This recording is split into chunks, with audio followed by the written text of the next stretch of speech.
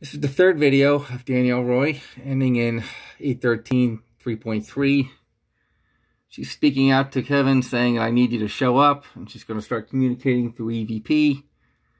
I'm not going to amplify this, but I am hearing I am, and it's really drawn out the M. I guess he's frustrated a little bit because he's talking, and she has no idea.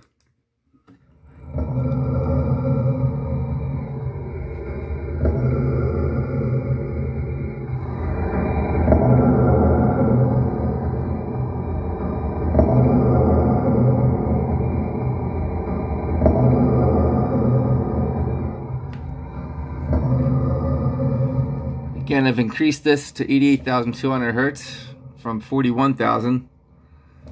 It's 0.07 speed. Here's Danielle's voice.